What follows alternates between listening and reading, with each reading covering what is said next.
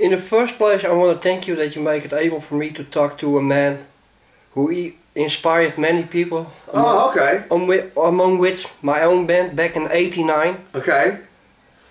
Oh, you're welcome. It's no, it's not a big deal.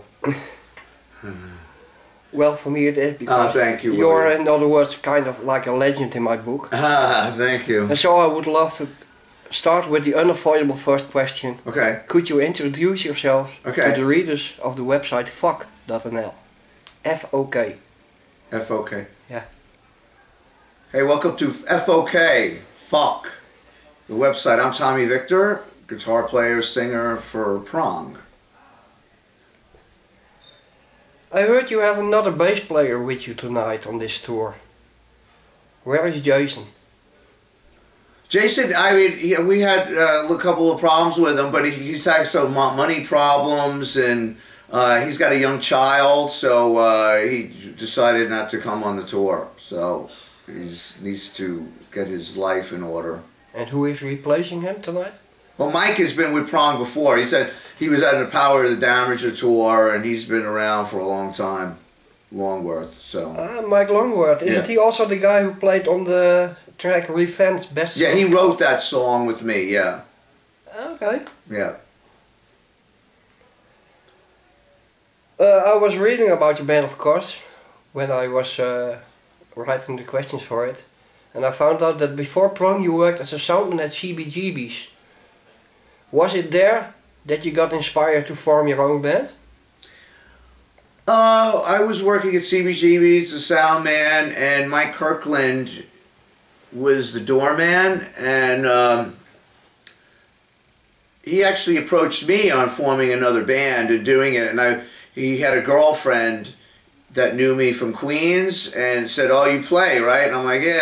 I- at that point, I was wasn't really interested in putting a band together, but uh, he got me inspired to do it, and you know, from working there, I was exposed to so much music, so many different bands. So uh, I was in the scene and was able to pick and choose the styles I liked, and Mike as well. And uh, I knew Ted from Swans, Wow. and uh, he wanted to do more like thrash metal and like hardcore and more aggressive music. I mean, a little different than Swan. So we just uh, all had similar interests, similar bands that we liked, and uh, we put it together fairly quickly. I got instantly inspired again. I had a lot of uh, bad experiences with bands before that, and uh, so I was a little disenchanted. But uh, and I never played guitar in a band before neither. So uh, when we initially started, we were like, "Oh, who's going to play what?" And uh, I played bass ma- mainly in groups, and uh, Mike was like, "Oh, you you could play guitar." So that's I sort of well, I, I had an inspired to play guitar and just sat around with a couple of records and sort of learned on the job, really. Uh, when you look back at those years, can you name a few of the bands that inspired you? Well, there's a lot of them. I mean, as far as the hardcore bands, there's bands that, that really didn't get that popular, like Rest in Pieces, I liked a lot. Uh, there, there was other hardcore bands that I thought were were great, like Leeway. Uh, and then uh, it, it's, there was just so many other groups that, that were around. There's band Rat At Rat R that I really liked a lot, and uh, and then you know we, we were I got involved in tape trading and we, and uh, there was other bands that I started getting exposed to, uh, and uh, I was into a lot of the British music like the goth stuff and uh, like you know like like Bauhaus and uh, Specimen and I mean Killing Joke has always been one of my favorite bands Can you imagine? Yeah. and uh, but we're at back to CB's. I mean, uh, you know, a, a good friend of mine is Vernon Reid from Living Colour, and uh, he helped the band out a lot, and I really like them a lot, and I like the Bad Brains and Twenty Four Seven Spyz, and uh, just a lot of a lot of different kinds of stuff rather than just straight hardcore too. And in metal, I mean, it was a band Whiplash I really liked, and then uh, we had a an early uh, uh, combat shows, like with combat record shows at CB's, and you had like Possessed came through there and Dark Angel, and I I, I got Wow. crazy about Wow. Dark Angel, and uh, so it was just a big fusion. And then I was like, oh, you know, Prong is just a fusion of all these styles, a lot of different styles. How long did you work at CBGB? For four years, from '86 to '90. Oh, the golden years. Yeah, I mean, well, before that, it was I think a little bit. The golden years were always from I think from like 1977 to like 90. By the time 90 came around, it was starting to get weak to me, and I was like, I was sort of dreading going to work. I mean, it was it's just things changed a lot. Okay. In that case, I was thinking, you, last year you made an album called Songs from the Black Hole. And one of the songs on it is a song by Husker Du. Right. That surprised me a bit. Well, I mean, I, I mean, as, as, as far as guitar players go, I really like Bob Mould playing a lot. I mean, that was an early influence too. Like you know, the Everything Falls Apart record. Um, that was more I, what I wanted to do as a cover, but uh, uh, but we did. Uh, don't want to know if you were lonely instead because it was more recognizable. Uh, We were trying to do a little bit more recognizable songs, but I mean, we we I we centered on selecting songs that like influenced Prong or me guitar wise and vocally. Okay. Uh, I was checking out some current set lists of your uh, tour, and I noticed that there aren't any songs of the first two albums, and even one song from Beg to Differ and from uh, uh, the other one. Prove You Wrong. Well, we have a short set on this tour. I mean, we're, we're supporting other bands, so uh, you know we can't. We had to be selective, and you know we have new records out, so you know we want to have represent the new prong Yeah. as well as you know as much as we can from the other ones. I mean, in, a- in a forty minute set, there's very you know we have there's not much we can do. Okay, I was I was afraid but you the were getting tired of the older stuff or something. No, I mean from Beg to Differ on, I like playing all that stuff. The old from Primitive Origins and Force Fed. Uh, not many people are familiar with those records. I mean, you apparently are, but uh, they're not recognizable as much. So uh, we choose not to play them. But I mean, inevitably on the uh, the 30th anniversary of our first appearance in Europe, uh, we're probably going to reintroduce those songs. So we're waiting. I mean, uh, until the right moment, and maybe re-release those records somewhere down the line. Oh, Not many people are familiar with those records. no, they, but they should, I think, because they are an, an important part. Maybe. I mean, I don't. I don't know. I mean, I'm not you know, much of a rock historian that much, but uh, yeah. I mean, they had they had its place in time. They shape the sound of the band in a, in a way. Yeah. Even when I listen to the new record, I still hear some elements that come from. Yeah. I mean, it's because of my playing. I mean, where I come from. I mean, it's, it's going to span any prong release. Is going to have that in there, uh, and you know. But you're right. I mean, like you know, like the stuff on on No Absolutes. That may be a, a tip of the hat, so to speak, or or uh, a reference to force fed a little bit. Yeah. Uh, you know, so uh, yeah, I mean, it's all part of the whole mesh of stuff that Prong has done with material. Talking about X, the X slash no absolutes. Am I correct when I say it's lyric, lyric wise a more personal album than the previous releases? No, not really. I, it, it's there hasn't really that been that many drastic changes in in the lyrical content with Prong. Uh, so uh, uh, it may appear that way, but it's, it's it gets a little political and personal. Uh, to me, it's very similar to Beg to Differ style uh, lyrically, but uh, nothing's really that changed that much. I don't think. Okay. I mean, I mean, unless I, I growing as a person or whatever, so it reflects it with the lyrics. I mean, I, I spend a lot of time on the lyrics, and you know, I really try to get them where uh, I'm satisfied. Uh, and I, I'm very happy with the lyrics on, on 10 No Absolutes. I think, you know, in, in certain instances on earlier records, I would be rushing the, the, a lot of the lyrics and I didn't have any reference points that much, but uh, I'm, I'm I'm fairly pleased with the lyrics on that record more than any other record, I think. That's always good to hear.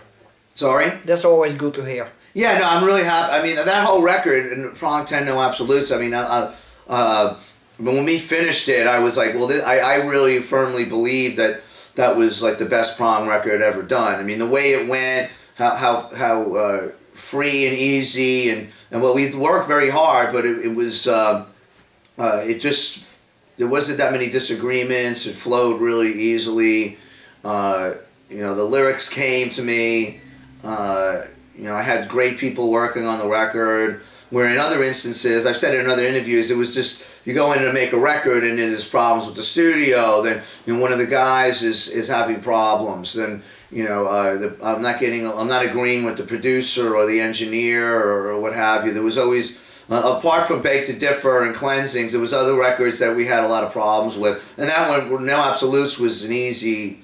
Uh, you know, Chris was amazing working with, and I'm continually working with Chris Collier. I mean, he's just a, a, he's amazing, and you know, we have a, a system. There's no fooling around. We get in there and do it, and it's just uh, it's a pleasurable experience. And have a lot of fun. Well, it's not fun. Uh, it's just work, and it's just it's getting it done, and without you know without uh, uh, egos and disagreements too much. Mm. I was wondering about the last album. Is there a deeper meaning behind that title? There's, there's a lot of things that get involved with that. That it, it's, it's with that title. Um, you know, there's two thoughts. Uh, people say there are there are certain absolutes, and uh, there are certain conditions, and then there's another school say that there aren't any absolutes. That it's just all chaos.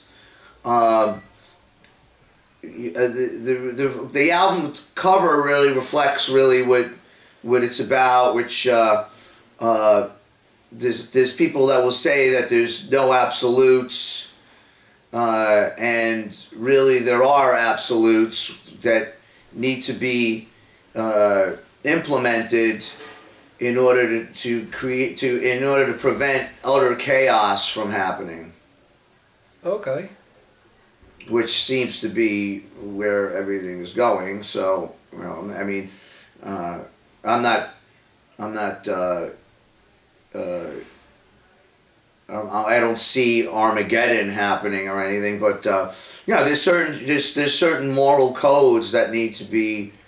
Uh, there's ethics and moral codes that need to be implemented in society in order for things to be to work proficiently, and uh, there's a definite movement where people where it's like well there's no there's there are no laws or there are no uh, rules therefore you know anarchy will take place so that's really it's a food for thought. I, I really don't take that many positions. I'm a very wavering type of person. Like i'll go back and forth and uh, you know I'll, I'll see what, what's going on. And i change continually with my views on everything.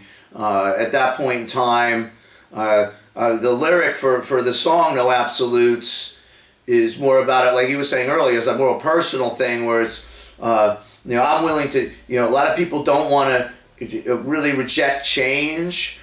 And uh, that's what that song's about, where uh, you you the the only change that you could possibly have is is somewhere inside you in reflection of the universe and therefore uh, creating your you know, your perception of things, but uh, the outside forces that try to dictate that uh, will tell you don't change, you know, stay where you are, and and uh, that's basically what that song's about. So that definitely reflects into the global experience that see to be that that is reflected in the album cover, which just shows, uh, you know uh, doom, whatever. But uh, it's uh, I mean that goes to your personal life too. If you're not willing to to continue with your ethics, but you know willing to change, then uh, the, you may have some problems.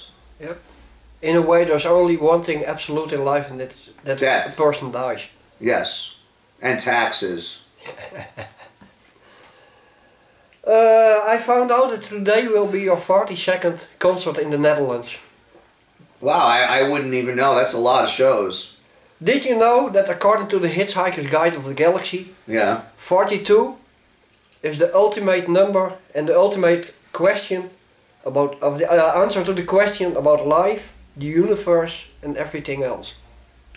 I never knew that. I mean, I've always been obsessed with the number 23. Uh, not obsessed, but uh, curious about it because Crowley was so into 23 all the time, and it, it he had all this basis of it within uh, Masonic uh, thought. Uh, so I never heard that before. So that's interesting. Was that like Thomas Wolfe is you know involved with it, right? So, or yeah, it's I'd be 42. I don't know. I have to look that up. Uh, I once heard about a project called Teenage Time Killers, which was like an epic supergroup, an unbelievable supergroup, and see how many people joined in. Uh-huh. I was wondering why was it that that didn't get that much uh, It's a good question. I, uh, I have a theory behind that, uh, and it's it's in line with the way things are moving, which is uh, there's a a lack of respect for innovators and uh, people that have taken chances. Uh, I think that as we go along, especially in art, those people will be more and more disrespected because uh, they're seen as ones that are not looking at, at the big picture or, social improvement or something like that. So, you know, uh, you know, the Lemmys and the Ozzy Osbournes and, you know, the Bowies and, and uh, the Tony Iommis or whatever you want to say, the Ritchie Blackmores and the, the, uh, you know, the Lou Reeds, that, that whole era of these iconic uh, types is dead, really, and, and is disrespected. And the general consensus, with especially in the music world, is just conformity. And uh, when you have like the Lee Ving and you know Corey Taylor and all these icons together, people don't really care. They don't. They want a brand and they want uh, a, a they, they want McDonald's and fast food and they, they don't they don't care about the individuals that made these things happen or anything anymore. It's like it's a dead thing. You know, like the young kids today they, they like you know the, these uh, uh, DJs. They don't even know their names and they don't really care. And these faceless. Uh, that's why it's definitely faceless. Really, with the you know Daft Pop, that, that you know the Daft Punk movement, which which is just the identities are stripped away from from music and it's just this global there's nothing wrong with that Mm. but they're they're, they're definitely uh, uh, imposing their uh, uh, mass will upon the music business Uh, when you look back on 30 years of prong, because if I'm, cor- I'm correct, it was 30 years ago that the band was formed, 1986. something like that yeah it was What do you consider the highlights of all those years? Which Well, I'm, I'm a very moment. I mean, I, I've learned. I live in the moment, and like, uh, you know, obviously, I, I get, you know, questioned about the past a lot, and blah blah. To me, it's it's uh, it doesn't it's it's irrelevant to my life that much. Like like you know, like today is the this is the most momentary and most important thing to me. Like last night, or you know, Okay. like, uh, uh, I'm not a historian of my own career. I don't recall the shows. Uh, I don't save laminates and you know uh, day sheets from last previous tours. Uh, I don't know if I've how many times I've played you know Den Haag or you know uh, any place. Just somebody goes, oh, you played Den Bosch t- twenty years ago, and I was like, I don't know, you know. So uh, it's. Uh, uh, the most momentary thing is releasing Prong 10 No Absolutes and, you know, touring for that and, you know, just uh, living for today, really. I mean, I don't uh, see any reason to bask in any previous successes or failures, really. Okay. In that case, uh, one more question about the past. Okay. if if you uh, look back, would you have expected to be in the same band after so many years? I think internally my will was that. Uh, and I don't know where that will came from, but uh, somewhere that along the line, uh, I realized, based upon previous experiences in other bands and other uh, other projects, that uh, I needed to take care of myself, which was like I needed to write lyrics, I needed to play guitar, I needed to have. Otherwise, I would not survive in the music business. So, and I needed to know like engineering and uh, I needed to read books and uh, uh, you know I had I had to do certain things in order to uh, survive. So uh, I guess that will wherever that came from out of just uh, ambition or selfishness or what however you want to interpret it enabled my career to last this long. So. Um, you know that it's just my makeup. I, I don't know where it's from or uh, you know who's who's telling me what to do, but it's it's like an outside source and then an internal source that comes from wherever. I, don't, I have no idea. Okay. I got a final question that is is there anything you want to say to the to the people of fok.nl who are looking at this interview right now? well, I'm going to be a marketer in here and say, you know, like check out our, our recent releases. I don't think you'd be disappointed. Anybody that's heard Prong 10 Absolutes, I go out to the merch booth after the show, and people are like, wow, you know, you know, like you continue to make good records, and uh, that's formidable. So, uh, you know, uh, if you haven't heard it, if you have Spotify, you know, check out the new songs and then uh, come see us because we play the old ones too. Regardless of what you said, we do cover cleansing material, and you know we do play. Unconditional. yes, we play unconditional every night, and then um, you know the we try to represent it. And on our soul, on our, our headlining shows, we do more, you know, like from Carved into Stone and other records as well. More Ruining Lives and Rude Awakening as well. So yeah, thank you for the support uh, it's always great to be in Holland. It's a wonderful country, and we love it here. And uh, it's our first time in uh, Leeuwarden. Leeuwarden. Yeah. Uh, interesting uh, place. Very nice. Thank you. Thank you.